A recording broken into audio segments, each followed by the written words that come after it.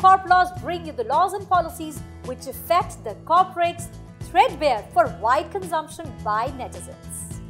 The complex legal metrics of corporate laws, IP laws, Competition Act, foreign exchange, regulatory structure, and capital market regulations affect multifarious stakeholders.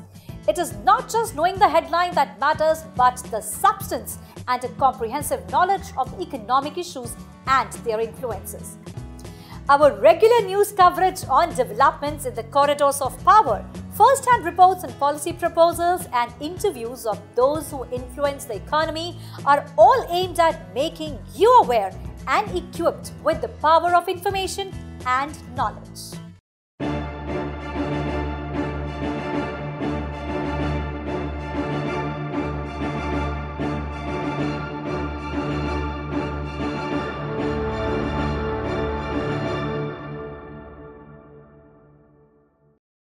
Hello and welcome to yet another episode of Rubaru with TIOL Tube. As we all are aware about the GST hitting our doorsteps, today with us we have the taxation head of Yum Brands, Mr. Dharmender Gupta, who will be sharing his views. My first question would be to you regarding the uh, the impact of the GST on the restaurant sector. So, what, what do you like to say about that? So as far as hospitality industry is concerned, yes, there are issues um, in GST which we can foresee based on the draft GST law that has come before uh, two and a half months. So uh, you know, uh, as of now, there are provisions with respect to centralized registration. So if we have centralized registration, uh, you know, we can manage all the branches across India with one location. But under GST, there is a requirement of taking registration in each and every state, which is which means that it is going to uh, increase the compliance burden manifolds. So we have to file five returns for one state, which effectively mean you know we will have to file five returns for 29 states multiplied by 29 states. So it is going to increase the compliance burden manifold.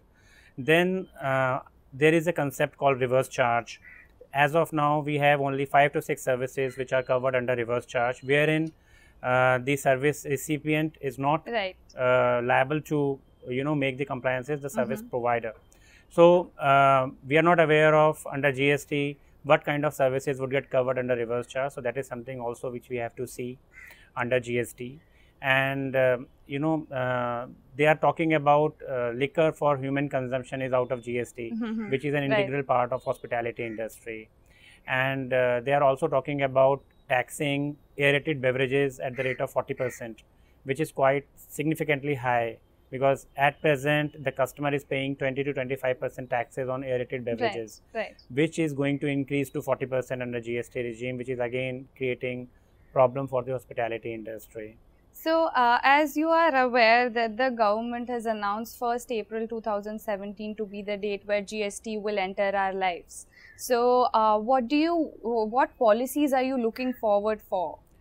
Uh, is there anything in particular? What would be the challenges that you would face? So, if I talk about challenges, so GST would require the, you know, overall of entire supply chain system, IT system, HR system, and contracts review. So it will uh, include hell amount of you know um, tasks uh, which a tax person will have to undergo.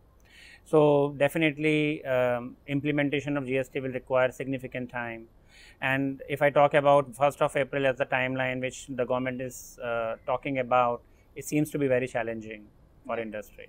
So, is there any gearing up, or are there are there any uh, like provisions that already have been taken place that you have been taken up, like policies that uh, you've set up already, or are you looking forward to do that in the hospitality and the restaurant sector? Yeah. So, uh, as far as policies are concerned, we are taking care of you know uh, IT systems are in place because that is the backbone uh, for implementation of GST. So we have started looking after the various chart of accounts, mm-hmm. and the IT system is in place to take care of uh, the GST implementation. So we have started taking up the IT uh, space within Yum.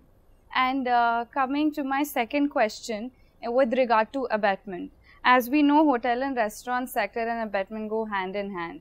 And something like that are you looking for something like that to be uh, implemented in the hospitality sector and the restaurant sector as well Okay, so if I talk about abatement, so that is against the spirit of GST because under GST there will be complete flow of uh, you know uh, credit chain. So uh, I don't think that government is going to give any abatement to the sector, which is against the spirit of GST. For, why I'm saying so is you know if they give us abatement of let's say uh, sixty percent, but I will be getting the entire input tax as the credit, so there will be a refund situation. okay And so the concept of GST is tax everything and give credit of everything. yeah So abatement is against the principle of GST. So I don't think that you know government is going to give us. Yeah. And uh, coming back to the point of GST, how is it that you would want to grow once the GST is in place? Like, because it, I'm sure it will be a very big step forward because, like, everything is going to be centralized. And then there you will be needing a lot of permissions with a lot of sectors, like a lot of states. So, how is it that you're going to plan out all of it? And what would be your opinion on it? Like, is it something that you would want to uh, is it something that you would want to increase or decrease in the number of uh, like restaurants and chains and Okay. everything Okay. So uh, definitely um, under GST we will have to take registrations uh, from various uh, state authorities and from central authority for uh, as far as GST is concerned. So we'll have to increase the uh, registration requirement under GST regime. Which, as I told you, that you know under GST we will have to take registration in each and every state, which is not Right. the case as of now, as of today. As of today, we can manage with single centralized registration but under GST it will be decentralized registration, which means we will have to take registration, government permissions in each and every state, which is going to increase the compliance burden manifold. So we expect the government to at least take care of this particular phenomena for service industry, and they can, uh, if they have any solution, uh, you know, uh, to keep this compliances requirement to bare minimum. So I think that would be appreciable.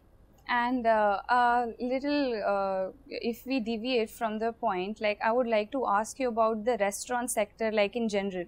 Like if you have a broad outlook towards the restaurant sector what would be your viewpoint on that? And how would you like like to improve and improvise on the provisions that are already there Okay, so um as far as uh, existing provisions are concerned and uh, the provisions that would be there under GST, yeah so uh, the tax rate is not going to be uh, substantially different as of now because today, if I talk about VAT and service tax, we charge approximately 20%, 18 Right. to 20% from the consumer. right And if I talk about the possible rate under GST, they are also talking about 18 to 20 percent. So as far as taxation is concerned, from the consumers, from a normal consumer, that is not going to increase substantially.